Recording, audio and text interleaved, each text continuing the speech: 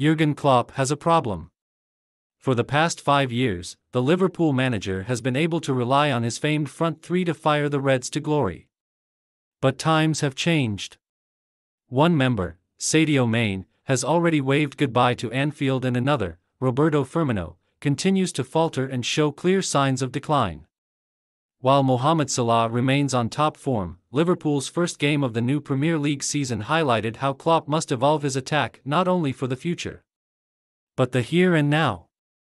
The Reds drew 2 2 with Fulham at Craven Cottage on Saturday to begin their 2022 23 campaign in dour fashion. A result which their boss was happy to take given his side's rubbish performance. But if it wasn't for Firmino's replacement, fellow striker Darwin Nunez, Klopp and co may well have left West London with nothing. Liverpool's new £85 million signing grabbed a goal and assist after coming on for Firmino in the 51st minute, demonstrating that it might be time for Klopp to ditch his approach of slowly embedding fresh faces into the starting 11 in favor of fast-tracking Nunez. As Reds legend Jamie Carragher predicted in the lead up to Saturday's match, the 23 year old Uruguayan started on the bench. Just as he had done for last weekend's Community Shield victory over Manchester City, in which he once again came on to score.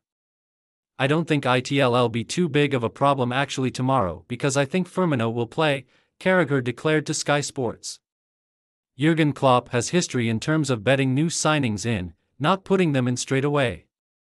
We seen in the Community Shield. City striker Erling Haaland, played right away, he didn't. Nunez got the headlines because he scored a goal, got the penalty but Firmino played really well. I expect Firmino to play, ITLL almost be a normal Liverpool team. Indeed it was, but Klopp's faith in the toothless Firmino, who only scored five league goals last term, almost proved to be his downfall, as the 30-year-old Brazilian looked labored in his usually slick work and was hooked prematurely. Nunez now has three direct goal contributions in just 70 minutes of action for Liverpool. And Klopp reckons that his tally will only increase once the Reds find their groove this season. Get involved.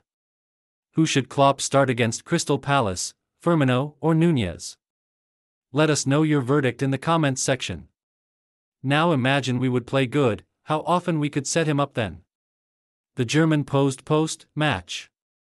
Because that was obviously our main problem, that our delivery was most of the time not good enough, and that was alright, we had massive chances. It's crazy.